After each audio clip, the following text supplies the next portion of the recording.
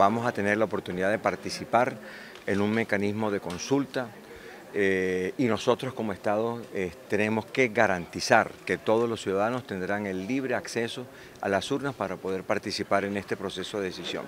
El mecanismo de participación ciudadana que hoy se va a utilizar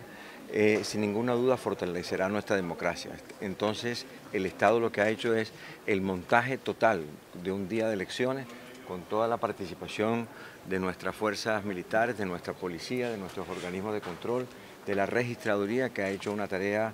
eh, tal cual como lo ordenan nuestra Constitución y las leyes y garantizar así al ciudadano el sagrado derecho a participar. Gobernador, usted ha dicho, ¿votará siete veces sí por la consulta? Yo voy a votar sí.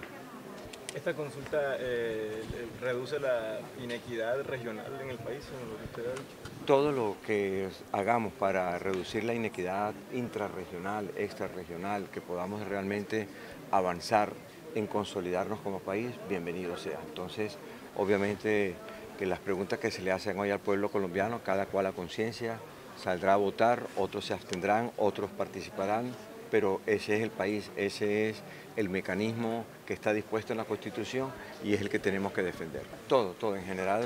pues aquí también tuvimos la oportunidad de estar con todas nuestras fuerzas militares allá en, San Jacinto. El presidente tiene la oportunidad de escuchar directamente las inquietudes de todos los estamentos de, la comunidad porque participan campesinos, participan organizaciones sociales, participan negritudes, participan, en fin, todos y cada uno de los diferentes estamentos y de una u otra manera eh, pues expresan sus inquietudes y el gobierno responde uno a uno a las inquietudes y se toman una serie de decisiones. Entonces en el caso específico de la costa obviamente estuvieron todos los temas que nos interesan, como el caso de la salud, de las vías, de las vías terciarias, de los mecanismos de producción para poder lograr mayores ingresos para la gente y en especial el tema de Electricaribe que fue tocado de una manera clara y exacta y el, presidente volvió a reiterar sus inquietudes con respecto a este tema que es álgido, él lo sabe, lo conoce y nos ha llamado y nos ha convocado. Aquí estaremos precisamente el día 22 de octubre, ya estamos organizándonos,